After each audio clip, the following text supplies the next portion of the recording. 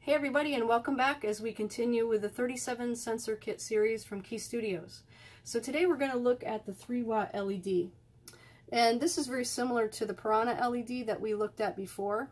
They're both super bright so don't look directly at it or you'll be seeing spots for a while.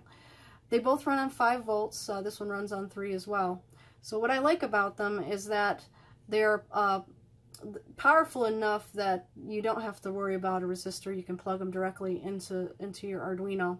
So it's real simple to use. All we're going to need today are these three uh, breadboard wires, male to female.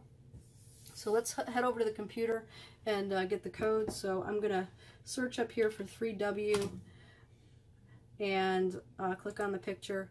I'm going to provide um, the links in the description of the video as well. So I'm going to head over to the, the wiki um, here's the picture, specs, and our connection diagram. Okay, so let's hook up the, uh, the negative to black, the positive to red, and the signal to blue. Okay. Then I'm going to put the red into 5 volts, the black into ground, and the blue into pin 13, which should be the fifth one over.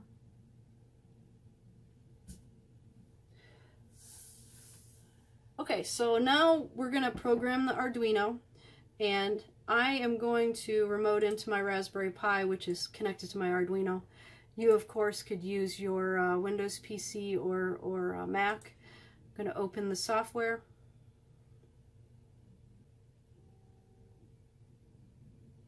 Okay, mine is going to open up right to the script or the sketch, but uh, you can copy and paste from, from the website. So we have the setup. Um, we're setting pin 13 to, to use as output. Then when we go into the loop, we're writing pin 13 to high, which means we're turning the LED on. We're waiting a second, and then we're turning the LED off. Very simple sketch. So as usual, we're going to check our board to make sure it's uh, the Uno and our port to make sure it's the, the USB port we're plugged into. So we're good to go and I'm going to click upload. So once it compiles and reboots the Uno, this is what you should see. So we have successfully connected the uh, 3 watt LED to the Arduino and if you've been following the series, uh, we've also going to connect to the microbit. So I hope you join me for that and subscribe to my channel.